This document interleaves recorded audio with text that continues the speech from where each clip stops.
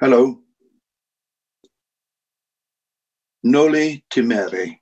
Don't be afraid. These were the last words spoken to his wife by the great Irish poet, world poet, Seamus Heaney. And we mustn't be. We have work to do. You have work to do.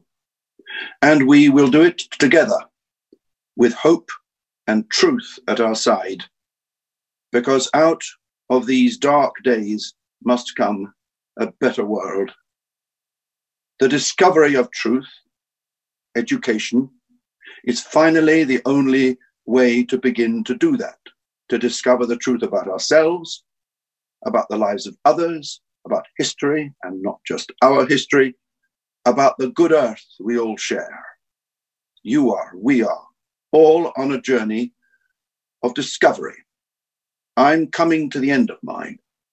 So, what I have discovered in my 76 years, well, that knowledge and understanding through education can bring the harmony we all yearn for, the sense of belonging we all need.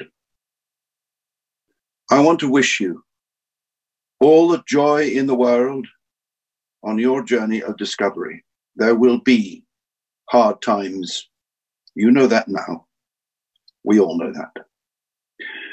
Remember the words of another great writer, Bertolt Brecht. In the hard times, will there be singing? Well, you should know. You tell it. You sing. You clap. You laugh. You dance. Sing, dance, laugh. Clap away your fear and stand and stare too. That will help. Oh, yes.